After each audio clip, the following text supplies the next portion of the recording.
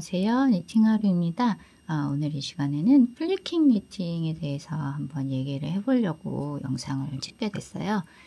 저는 처음에 대바늘을 시작할 때는 American knitting으로 배웠었거든요. 어, 오른손에 실을 쥐고 뜨는 방법이죠. 근데 그렇게 떴더니 어, 오래 뜨기가 힘들었어요. 팔이 아프더라고요. 손목도 아프고 그 손 쥐는 손아귀도 아프고 해서 어, 그 방법으로는 그 장시간 뜨게 하기는 조금 어렵더라고요. 그래서 그 다음에 뜬 것이 continental knitting이었고 continental knitting은 코바늘이랑 똑같이 왼손에 왼손에 실을 쥐고 뜨는 방법인데요. 이렇게 떴더니 속도는 굉장히 빨라졌는데 그렇게 몇 년 뜨고 났더니 그 땀이 너무 커져서 예쁘지 않더라고요. 보통 분들의 게이지랑 뭐 한 코 정도 이상 차이가 나게 돼서 그 떠진 편물이 너무 예쁘지 않고 저는 이게 손에 힘을 많이 주는 편인지 다른 분들은 되게 장시간 오래 뜨시던데 제가 생각한 것만큼 길게 뜨개를 할 수는 없었어요. continental knitting으로 뜨면 팔꿈치가 많이 아프고 그다음에 손목이 아팠던 것 같아요. 그래서 이제 작년부터 작년 재작년 말부터 이제 flicking knitting으로 이제 대바늘을 뜨고 있는데 저는 잘 안 되더라고요. 근데 이제 제가 익힌 방법을 좀 설명을 드리려고 flicking knitting을 음, 영상을 찍게 됐어요. 저는 이제 보, 많은 분들이 제 영상을 보시면 아시겠지만 저는 엄지손가락이 좀 짧아요. 이걸 보니까 어느 드라마에서 보니까 단지증이라고 하던데 아프거나 그런 건 아닙니다. 그냥 이렇게 태어났어요. 전혀 뭐 실생활 하는데 불편함은 없어요. 근데 이제 플리킹 니팅을 뜨면서 안 되는 이유가 내가 엄지가 짧아서 그런가? 라는 생각을 많이 했거든요. 근데 그건 아닌 것 같고 제가 익힌 방법 여러분한테 설명을 드릴게요. 처음에 실을 쥐실 때는 American knitting 하시는 거랑 이제 똑같아요. continental 하시는 방법이랑도 이제 손 위치 어, 오른손이냐 왼손이냐만 다르지 쥐는 방법은 똑같습니다. 어, tension을 위해서 새끼손가락에 한번 이렇게 감아주세요. 새끼손가락에 먼저 감는데 이게 너무 술술술술 딸려 나오지 않게 하기 위해서 그렇습니다. 이 그 검지에 걸려 있는 실이 팽팽해야 잘 떠지거든요. 근데 이게 술술술술 딸려 나오면 느슨해질 수 있고요. 그다음에 여기 잡는 이렇게 쥐게 되죠. 보통 이렇게 쥐는 이 손가락에 힘이 들어가게 돼요. 그래서 힘을 들이지 않기 위해서 새끼손가락에 감게 되는데요. 그러면 딱 너무 많이 딸려 나오지 않게 실이 줄줄 딸려 나오지 않게 잡아주실 수 있으세요. 새끼손가락 앞으로 해서 네 번째 손가락 사이로 이렇게 실이 들어가게 한번 감아주시고요. 그 다음에 검지 손가락을 이 있는 실에 밑에서 위로 이렇게 걸쳐주시면 돼요. 그래서 이렇게 편하게 편물을 잡아주시면 됩니다. 그리고 보통은 이렇게 이렇게 이렇게 90도 90도라고 해야 되나요? 90도보다는 조금 넓죠? 어, 이렇게 되게 작게 편물을 뜨게 되거든요. 그래서 플리킹 니팅 겉뜨기입니다. 앞에서 뒤로 들어가서 엄지와 중지로만 잡거든요. 바늘을. 그래서 외국 영상도 많이 봤는데 이렇게 가깝게 잡고 이렇게 실 걸려 있는 데가 되게 이렇게 가깝게 있더라고요. 근데 저는 그 방법으로는 좀 너무 익숙하지 않아서 그런지 이렇게 되게 짧게 있으시던데 요거는 조금 어렵더라고요. 그래서 American knitting이랑 똑같이 좀 편하게 여유 있게 여기 공간에 너무 붙어 있지 않게 이렇게 해서 뜨고 있는데요. 겉뜨기 앞에서 뒤로 넣으시고 엄지와 중지로만 저는 보통 3, 4코 정도 좀 떨어져 있는 위치에서 잡, 잡는 게 편하더라고요. 이거 이렇게 위치는 어, 편하신 방법대로 편하신 위치가 아마 찾아지실 거예요. 이렇게 잡으셔서 엄지와 중지의 약간 그 옆부분 이 옆부분에서 약간 안쪽으로만 이렇게 바늘을 잡아주시고요. 새끼손가락과 그 약지손가락은 그냥 이렇게 편하게 쥐어주시면 돼요. 그리고 이 네 번째 손가락이 살짝씩 도움을 주시기도 합니다. 어, 뜨개를 할 때 어느 한쪽 손만 움직이지 않아요. 동시에 양쪽이 다 균형 있게 움직이셔야 음, 잘 떠지거든요. 그래서 위치대로 잡으시고 검지 손가락만 움직이셔서 이렇게 실을 거신 이후에 이렇게 빼시면 됩니다. 이게 플리킹 니팅이에요. 다시 한번 겉뜨기 방향으로 넣으시고 다른 손가락은 떼지 않아요. 엄지, 중지, 약지까지 저는 이렇게 붙어 있네요. 약지까지 떼지 않고 손목을 살짝 움직여서 검지손가락으로 이렇게 걸어서 빼줍니다. 근데 저는 좀 더 편하게 하기 위해서 속, 그 각도를 약간 바꿔줬어요. 엄지 쪽에 오른손, 오른손 쪽에 있는 바늘이 조금 더 밑으로 오게 이렇게 떠주셔서 아예 방향을 잡을 때 이렇게 잡으셔서 이렇게 검지만 움직이시면 조금 더 편하거든요. 저는 그렇습니다. 이렇게 잡지 마시고 약간 90도 정도 되게 오른손이 약간 내려오게 이렇게 잡으셔서 이렇게 하시면 훨씬 편하더라고요. 플리킹 니팅 뜨실 때 그래서 보시면 다 움직여야 돼요. 넣고 왼손으로는 살짝 움직여서 방향을 다시 올라가게 해서 검지로 걸게 되거든요.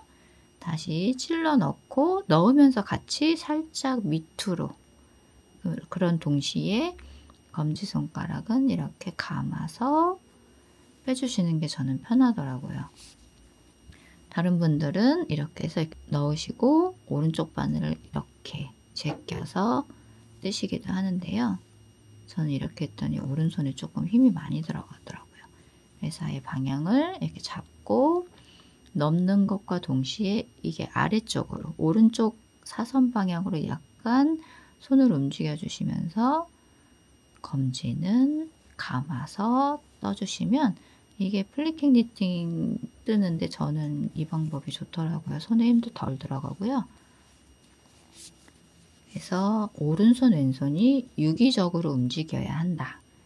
넣고 밑으로 끄는 동시에 감고 이렇게 넣는 동시에 살짝 아래로 당겨 주시면서 여기는 검지만 활용해서 실을 걸어서 빼주시면 돼요. 이때 왼손, 오른손도 손목이 살짝 얘는 손목을 눌러주시고 얘는 손목을 약간 들어주시고 이렇게 이렇게 해서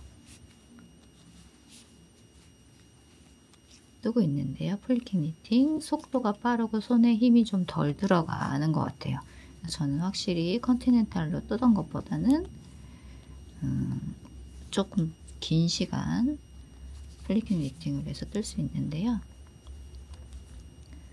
손을 아예 손목을 이렇게 꺾는 것보다 이렇게 옆으로 놓으시는 게 좀 편리합니다. 손 방향이 손을 얘만 움직일 순 없어요. 이렇게 얘가 움직이려면 얘 다른 애들도 좀 딸려오거든요. 그래서 완전 검지만 움직이는 건 아니다. 손목이 같이 조금씩 움직여준다. 그래서 플리킹 니팅 찔러 넣고 다른 친구들도 얘는 내려 왼손은 내려오고 오른손은 약간 들리면서 검지로 실을 감아주시면 되겠습니다. 이렇게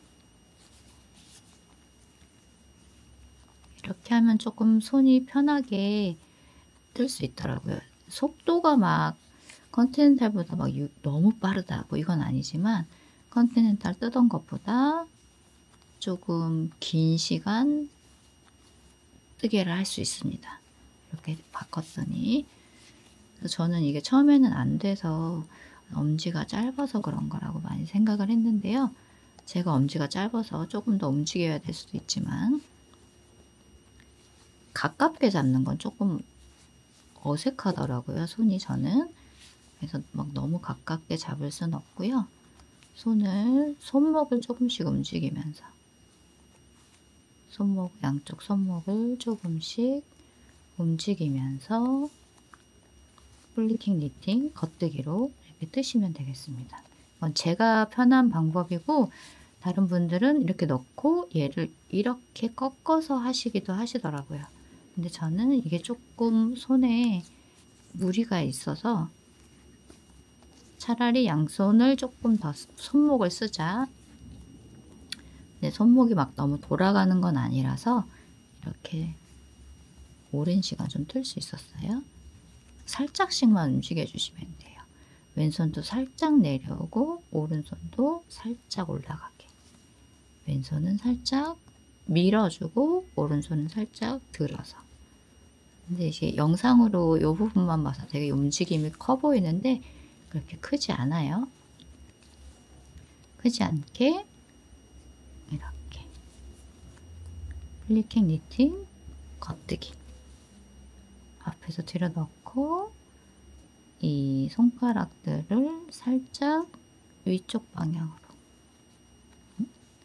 위쪽 방향으로 넣을 때 왼손이 조금 도와줘서 아래로 살짝 내려오시면서 실을 감아서 빼주시면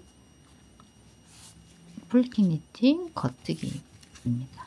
이렇게 해서 지금 편물을 어, 뜨고 있는데요. 저는 속도도 속도인데 손 편안함도 그렇고 그 continental 뜨던 것보다 지금 이게 편물이 더 고르게 나와서 어, continental knitting으로 계속 연습하면서 뜨고 있어요. 겉뜨기는 이렇게 뜨시면 되겠습니다. 이번에는 안뜨기인데요. 안뜨기도 잡는 방법은 똑같습니다. 새끼손가락 위로 실이 올라오게 그 다음에 네 번째 손가락과 사이로 넣으셔서 검지를 실의 밑에서 위로 이렇게 걸쳐서 잡아주시면 되고요. 아까처럼 방향을 조금 너무 옆으로 있는 것보다는 살짝 꺾어주시는 게 오른 바늘을 이렇게 약간 오른쪽으로 움직여주는 걸 좀 덜 할 수 있어요.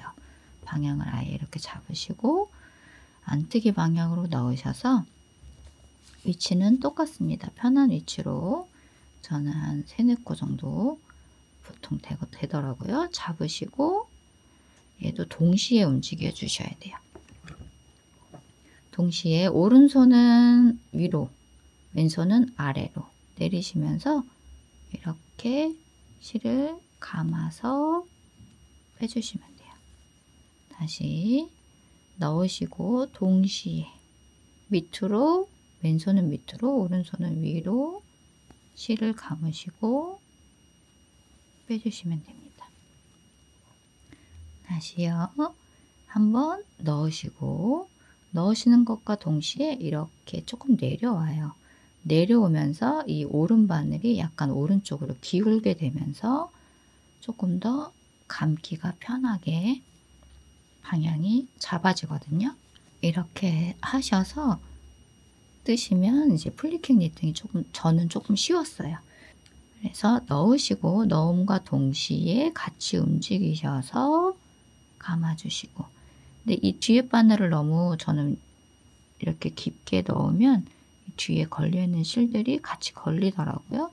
그래서 안 뜨기는 가급적 약간 바늘 끝에서 가깝게 가깝게 넣으시고 동시에 내리고 왼손은 내리고 오른손은 올리셔서 떠주시면 돼요. 그래서 이렇게 뜨시면은 조금 속도가 빨라지고 손을 조금 더 전체적으로 덜 움직이기 때문에 American knitting보다 덜 움직이기 때문에 조금 더 오래 뜨개를 할 수 있는 기법이라고 저는 생각이 되고요. 음, 뜨개 할 때 뭐 오른손은 이렇게 왼손은 가만히 있고 이게 아니라 모든 손이 유기적으로 동시에 움직인다는 거. 그래서 안띄우기, 안뜨기 방향으로 넣음과 동시에 왼손은 살짝 내려주시고 오른손은 살짝 들어주셔서 뜨시면 돼요. 그래서 너무 손등이 이렇게 보이는 것보다 손바닥이 살짝 보이는 오른손의 각도가 편하다. 이렇게 플리킹 니팅 안뜨기 방법이었습니다. 음, 조금 더 오래 뜨개를 하는 게 저희는 목표잖아요. 빨리 뜨는 게 목표가 아니라 오랜 시간 음, 하루에 막 10분밖에 못하게 뜨는 것보다는 하루에 1시간은 해도 손이 좀 덜 피곤하게 오래 뜨개를 할 수 있게 맞는 기법을 찾으시면 좋을 것 같아요. 그래서 저는 오늘 이제 flicking knitting 어, 기법을 소개해 드렸습니다. 오늘도 재미있는 뜨개 시간 되시기를 바랄게요. 감사합니다. 니팅 하루였습니다.